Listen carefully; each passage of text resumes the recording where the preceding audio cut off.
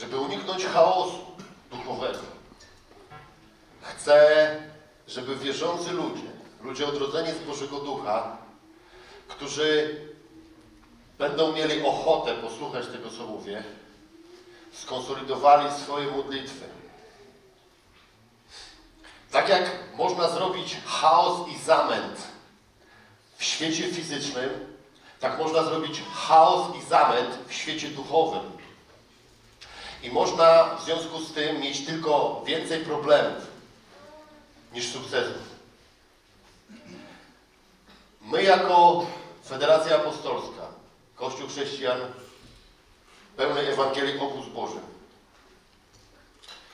e, modlimy się w określonym kierunku. I zachęcam Cię, żebyś też w tym kierunku zaczął się modlić.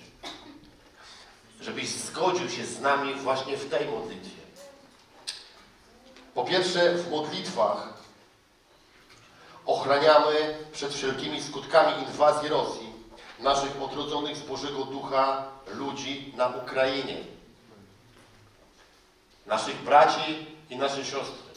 To robimy na dzień dobry. Po drugie, w modlitwie udrażniamy drogi ewakuacji do innych krajów naszym braciom i siostrom z Ukrainy. To trzeba robić. Po trzecie, w modlitwie otwieramy serca Bożych ludzi w Polsce na praktyczną pomoc dla naszych braci i sióstr z Ukrainy, którzy mogą pojawić się w naszym kraju jako uchodźcy wojenni.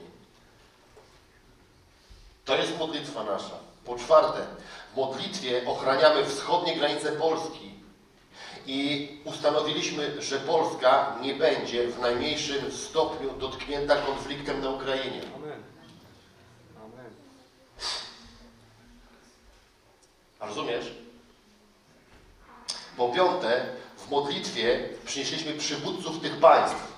Stany Zjednoczone, Wielka Brytania, Francja i Izrael, a także Niemcy, Włochy, Turcja, Holandia i Belgia i e, Południowa Afryka. I ustanowiliśmy, że są w pełni odwagi i determinacji, aby systematycznie potępiać medialnie Rosję i wykazywać faktyczną gotowość do obronnej inwazji na Rosję. Dlaczego te kraje?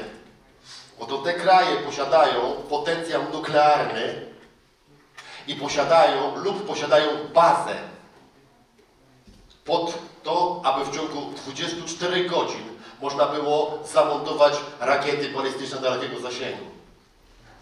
To te kraje są głównym głosem. Nasze modlitwy nie mogą być chaotyczne. Jeśli się skoncentrujemy, to przywódcy tych krajów będą coraz mądrzejsi, coraz aktywniejsi i coraz odważniejsi, jeżeli chodzi o działania przeciwko Putynowi. Przyjaciele, w 99% Putin nie dotknie Polski. Dlaczego? Nie dlatego, że Bóg jest dobry, tylko dlatego, że Putin to biznesmen. Psychopata, ale biznesmen. I targnięcie się na Polskę jest targnięciem się na NATO i na Unię Europejską. I to trzeba trochę o tym pomyśleć. Putin posiada 600 głowic nuklearnych więcej niż Stany Zjednoczone tylko. Ale całe NATO ma więcej niż Putin. A rozumiecie to? To jest bardzo ważne. Myślcie, jak się modlicie. Niech modlitwy nie będą bezmyślne. A teraz chcę powiedzieć o tym, ponieważ nie o jednej jeszcze rzeczy, ponieważ jesteśmy ludźmi i chodzimy po ziemi i możemy popełniać różnego rodzaju błędy, mimo że chodzimy w Duchu Świętym, to biorę pod uwagę 1% tego, o czym powiedziałem. I ten 1% to jest to, że Putin sięgnie po nasz kraj. I wtedy, Kościele, chcę, żebyśmy się modlili modlitwą zgody o śmierć Putina. Nie bawili się w humanizm. Księga Objawienia, Apokalipsa Świętego Jana, drugi rozdział, od 18 wersetu. List do Tiatyry mówi jasno, tak mówi Bóg. Mam ci za złe, że pozwalasz niewieście Jezabel nauczać i zwodzić moje sługi. Dałem jej czas, mówi Bóg. A to jest nowe przymierze, pamiętajmy. Aby się upamiętała, ale nie chce. A więc rzucę ją na łoże tych, z którymi cudzołożyła.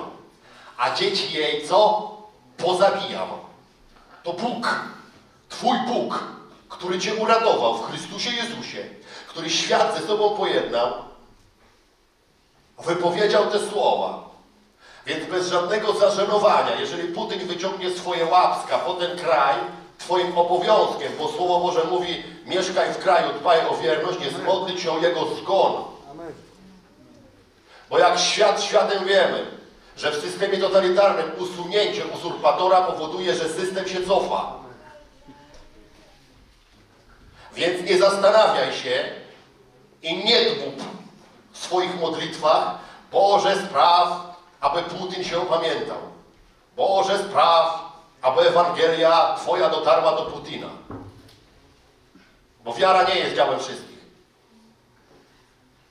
Gdyby 90 lat temu chrześcijanie odebrali od Ducha Świętego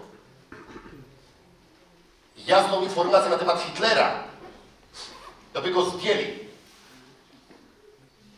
Bo Hitlera trzeba było zdjąć. Zanim wymordował tyle ludzi. Zdjąć. Jeśli dla Ciebie śmierć jest czymś strasznym, to zacznij się modlić. Bo śmierć to nie jest żaden problem dla Boga.